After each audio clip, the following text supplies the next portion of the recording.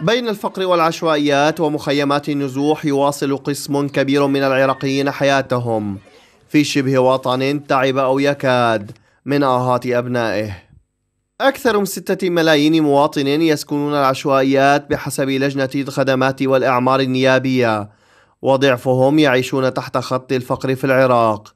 يعانون حاليا في ظل انتشار فيروس كورونا الذي أثر بشكل سلبي على حياتهم تزامنا مع أزمة اقتصادية وشح في الرواتب بسبب الفشل الحكومي بإدارة البلاد ورتق الفساد الذي أصرت الأحزاب الحاكمة على اتساعه أكثر فأكثر. وسط حملات حكومية لمكافحته لم تتعدى أن تكون دعاية في مهب الريح.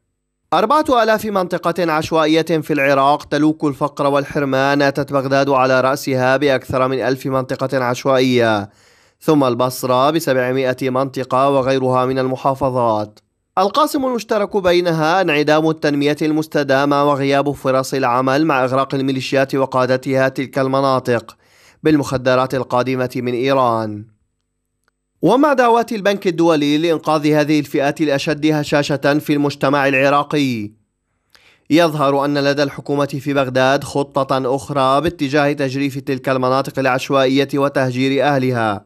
كل ذلك تحت ستار قانون العشوائيات وفرز الأراضي تمهيدا للسيطرة عليها من قبل الأحزاب السياسية. تلك التي طاردت أيضا ألباعة المتجولين أو ما يعرف بأصحاب البسطيات. ثم ما لبثت أن استخدمت العنف لفض اعتصام حملة الشهادات العليا في بغداد. في مشهد استفز العراقيين. هذا التضييق المستمر بحسب تقارير صحفية وحقوقية لن يجلب إلا مزيدا من عدم الاستقرار والفوضى في العراق.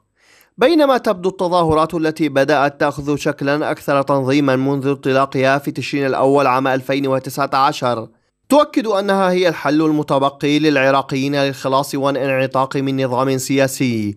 لا يزال يريد إعادة تدوير شخوصه وإبقاء البلاد في دائرة الفقر والحرمان.